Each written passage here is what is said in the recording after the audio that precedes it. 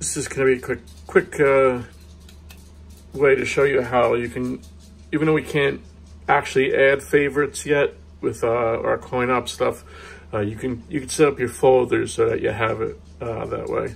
So right now I have two USB drives in here, 64 gig and a 128.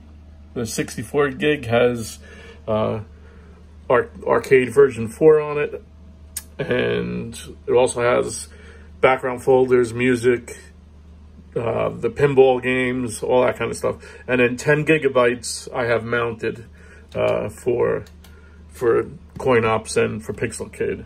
Um, so what I did then is on the the second drive, uh,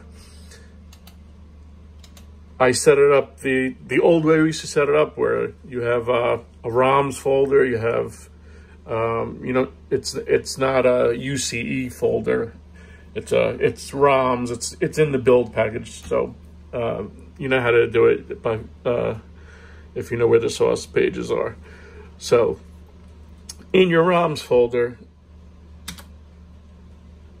let me just load this up. In your ROMs folder, when you're adding all your uh, your your different systems, um, as long as you don't just drag and drop like they say to do, you just uh, right under ROMs, you go into that folder and then you make a new folder called Amiga, then Atari uh, 2600 or, you know, whatever, as you say, every system that, that uh, is here.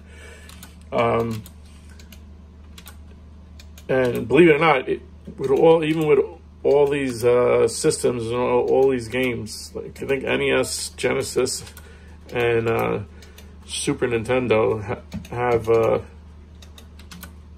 have every pretty much every game in the library. So, but um, besides that, so there's still like another 40 or something, 50 gigabytes of space left on this. So anyway, so what you do is in that ROMs folder, uh, like I said, instead of just throwing all your stuff in, then you set it up, put Game Boy Advance, you know, Game Boy, every every folder that you're going to put the ROMs in, you, you set it up that way.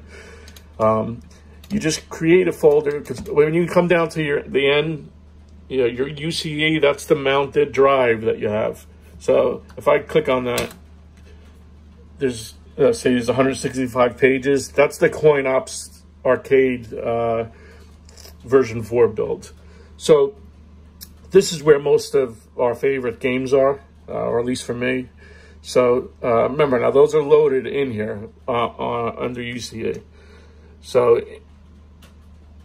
in the in the ROMs folder on on the second drive, you just create arcade favorites uh, folder. Uh, it's it's good to call it arcade favorites or start it off with a number so that it's up it's up the top and it doesn't get buried, you know, because it goes by alphabetical order.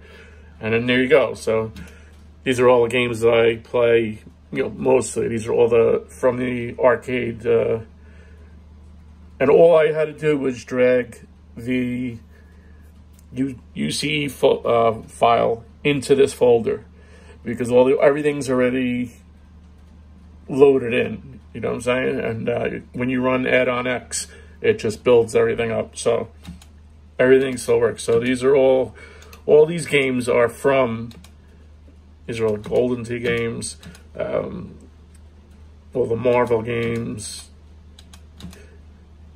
Mortal Kombat's, Metal Slugs, NBA Jams, Rampages, and they're like 15 Street Fighters and stuff. So anyway, they uh, all will just load right here.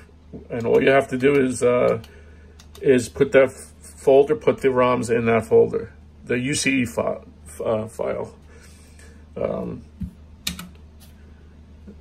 and you just hit the button and it will load like normal.